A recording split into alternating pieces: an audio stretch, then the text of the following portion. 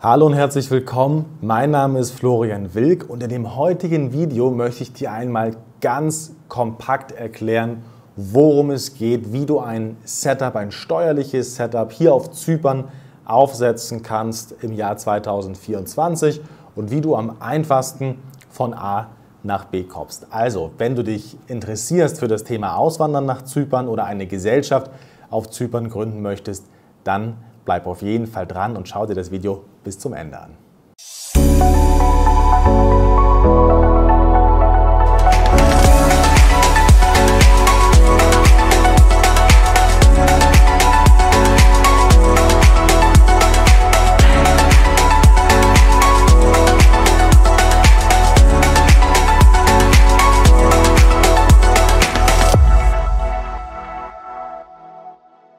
Also ich starte mal mit der Wohnsitznahme. Das ist natürlich das ganz, ganz äh, Entscheidende, um hier auf Zypern steueransässig zu werden, um in den Genuss ja der sehr, sehr umfangreichen steuerlichen Vorteile zu kommen, benötigst du natürlich einen Wohnsitz in der Republik Zypern. Das heißt im südlichen Teil Zyperns, im griechisch-zypriotischen Teil, nicht etwa im türkischen Teil. Natürlich kannst du in den türkischen Teil, in den nordzypriotischen Teil ziehen, aber da ist ein völlig anderes Rechtssystem. Es ist nicht Teil Europas und äh, die Vorteile mit der geringen Körperschaftssteuer, mit dem Non-Dom-Status und so weiter und so fort gelten nur in der Republik Zypern. Nur, dass du da keine Verwechslung hast, womöglich. Ja, wir haben manchmal auch die Kombination, dass jemand im Norden äh, einen Teil der Zeit verbringt, also einen Wohnsitz hat, meinetwegen einen Nebenwohnsitz hat, aber eben das offizielle steuerliche Setup in der Republik Zypern im Süden läuft. Auch das ist möglich, aber Ganz, ganz wichtig, du brauchst einen Wohnsitz in der Republik Zypern. Das kann eine Mietimmobilie sein, du kannst eine Wohnung anmieten, beispielsweise in Lanaka schon für 6, 7, 800 Euro. In Lanaka beispielsweise schon für 6, 7, 800 Euro für eine Zwei-Zimmer-Wohnung im Monat. Also auch, wie ich finde, relativ preiswert. Und ähm, das ist sozusagen das Minimum. Ne? Wenn du es sehr, sehr einfach und kosteneffizient haben möchtest, kannst du eine kleine Wohnung anmieten in Lanaka. Dabei unterstützen wir auch sehr, sehr gerne. Die Alternative ist der Immobilienkauf. Also auch Eigentum ist natürlich möglich. In der Regel im ersten Jahr kauft man nicht sofort, sondern mietet natürlich erstmal. Da kann es also auch dann die 12 Monats Miete sein, der 12-monatige Mietvertrag für den Beginn. Wenn du das hast, dann können wir einen Termin machen für die Immigration, für die Wohnsitzanmeldung hier in Lanaka ganz offiziell sozusagen, dass du einmal die zeitlich unbefristete Aufenthaltsgenehmigung bekommst für Zypern. Das ist nämlich für EU-Bürger relativ einfach geregelt. Du brauchst einige Unterlagen, neben dem Mietvertrag eine Krankenversicherung, du brauchst Kontoauszüge, du brauchst äh, entsprechende Nachweise über die bisherige Tätigkeit, Lohnabrechnungen oder auch Handelsregisterauszüge und einige andere Dinge. Und ähm, diese Unterlagen bereiten wir dann sehr, sehr gerne auf. Äh, sorgen für die entsprechenden Übersetzungen und äh, machen dann mit dir einen Termin bei der Immigration-Behörde, beispielsweise zwei oder vier Wochen im Voraus. Man kann es auch längerfristig planen. Wir haben da entsprechend vorgefertigte Termine. Das heißt, du hast nicht die üblichen Wartezeiten, die gar nicht so ohne sind. Die sind teilweise bei zwei bis drei Monaten, sondern wir können da jederzeit mit dir gemeinsam einen Termin finden, der sozusagen in deine Planung passt, in dein Setup perfekt reinpasst. Ja. Zu dem Termin begleitet dich dann mein Mitarbeiter Kostas, ähm, der schon einige Jahre äh, für uns hier in der CMC tätig ist und sich auf das Thema Immigration spezialisiert hat. Ähm, er kennt natürlich auch die Sachbearbeiter in den Behörden sehr, sehr gut. Wir genießen ein sehr großes Vertrauen. Und das ist natürlich auch positiv für den Mandanten, weil der Termin entsprechend etwas entspannter abläuft, etwas routinierter und das Ganze etwas schneller und unbürokratischer abläuft, als wenn man jetzt vielleicht selbst versucht, sich da durchzubeißen oder jemanden beauftragt, der vielleicht jetzt nicht so die großen Erfahrungswerte hat mit diesem Thema. Bei dem Termin, der ungefähr eine halbe Stunde, Stunde dauert, bekommst du dann auch direkt die unbefristete Aufenthaltserlaubnis, den sogenannten Yellow Slip. Das ist ein gelbes Stück Papier, ein gelber A4-Zettel. Und mit diesem Dokument bist du dann offiziell in der Republik Zypern wohnhaft. Also ein ganz, ganz wichtiges und zentrales Dokument, das man da nicht ähm, außer Acht lassen sollte. Wenn du das dann hast, dann kannst du offiziell unternehmerisch tätig sein, dann kannst du eine Gesellschaft gründen auf Zypern und auch in dieser Gesellschaft als Geschäftsführer, als Director angestellt sein. Auch ganz, ganz wichtig.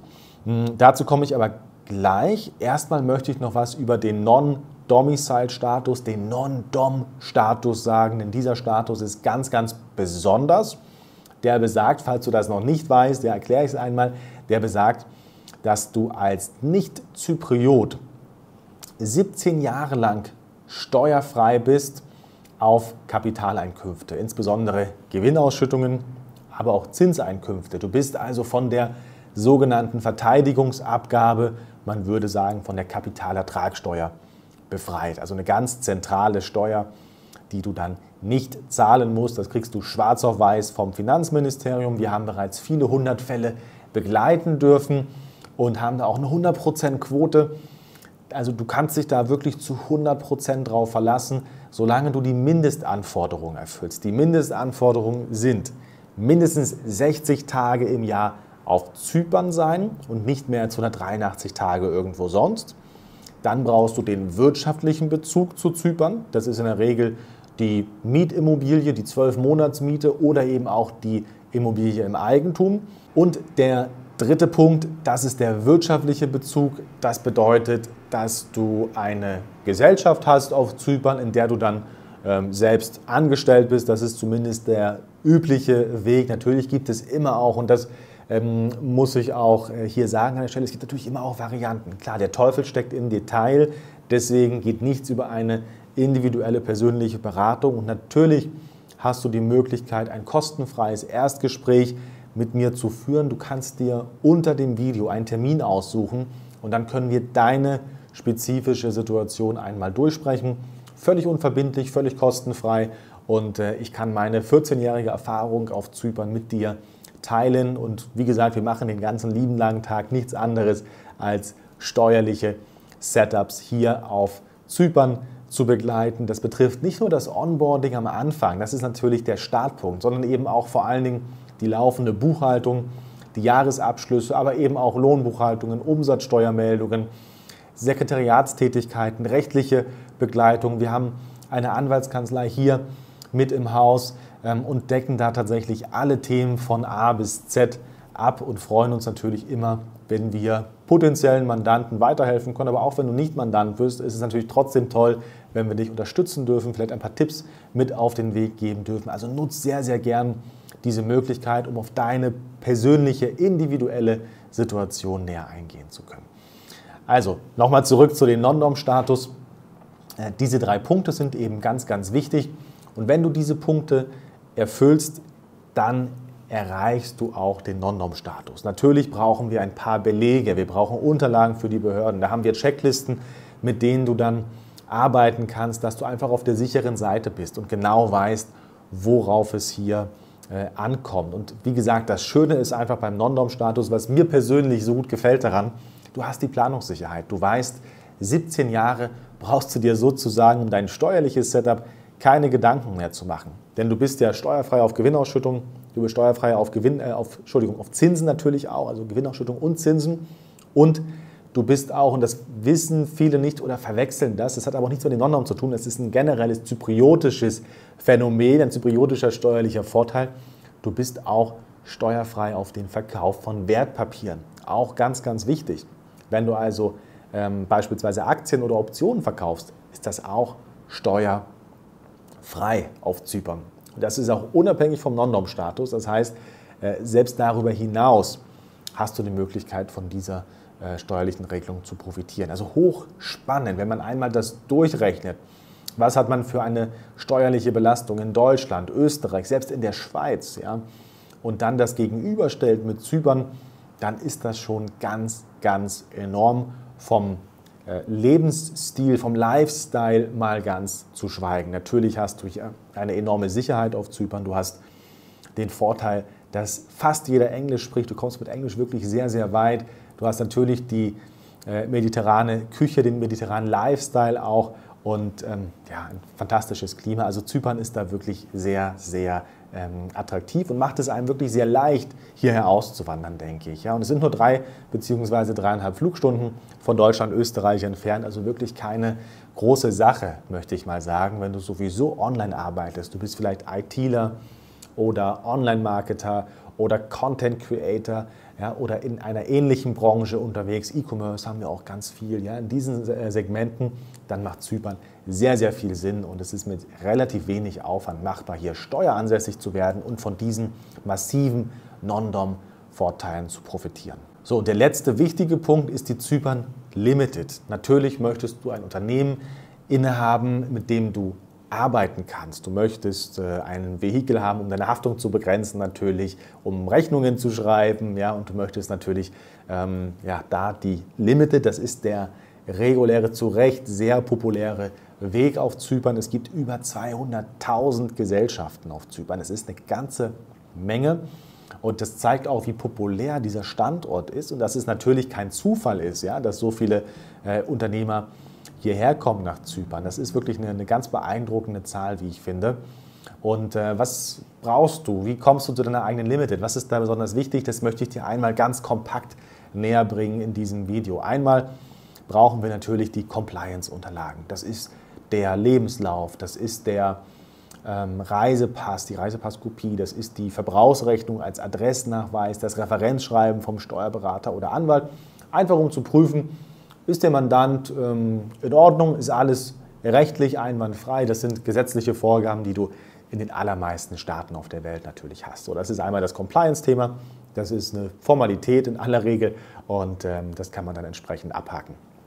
Das zweite ist der Firmenname. Wir sollten unbedingt rechtzeitig den Firmennamen prüfen. Das ist ganz, ganz wichtig, denn das Handelsregister ist da sehr eigen. Wir haben häufig mal Namensablehnung. Ja, das äh, das Register sagt, sorry, aber dieser Name ist so in der Form nicht registrierbar. Dann müssen Alternativen her und dann vergeht natürlich Zeit. Deswegen immer wichtig, frühzeitig den Firmennamen prüfen, damit du da nicht irgendwelche Verzögerungen erlebst. Ja? Dann der dritte Punkt ist die Erstellung der Satzung. Das ist das sogenannte Memorandum, Memorandum Entschuldigung, und die Articles of Association. Das ist also die Satzung der Gesellschaft, die wird angepasst an deinen konkreten Business Case dauert wenige Werktage und dann kannst du diese Satzung als Gesellschafter deiner Limited unterzeichnen. Wir legen natürlich die finale Struktur fest. Wer wird Geschäftsführer? Wer wird Secretary? Wie ist die Gesellschafterstruktur? Brauchen wir ein Holding-Modell? Macht das Sinn oder brauchen wir es womöglich gar nicht? Das sind alles Fragen natürlich, die man dann gemeinsam mit dem Mandanten durchspricht und dann in Ruhe entscheidet, wie soll die finale Struktur äh, tatsächlich aussehen. Und wenn das alles steht, wenn das alles vorbereitet wurde, dann geben wir das Ganze an das Handelsregister Nicosia und innerhalb von zwei bis drei Wochen wird die Gesellschaft eingetragen und äh, ja, dann kannst du schon fast mit der Gesellschaft loslegen. Dann brauchen wir noch die Steuernummer, die Wattnummer, also die Umsatzsteuer-ID-Nummer, das Geschäftskonto natürlich und die Anmeldung bei der Sozialversicherung. Also viele Formalitäten, die dann noch im Nachgang stattfinden. Das dauert auch ein paar Wochen, das ist ein bisschen saisonal abhängig ähm, und da gibt es viele Faktoren, die damit reinspielen. Aber ich würde auf jeden Fall zwei, drei, vier Wochen einplanen für diese Dinge, sodass du im Normalfall nach vier bis sechs Wochen tatsächlich rechnungslegungsfähig bist mit deiner Gesellschaft. Also du kannst nicht nur Verträge schließen, sondern auch abrechnen, Rechnungen schreiben an deine Kunden und mit der Gesellschaft äh, arbeiten. Ja.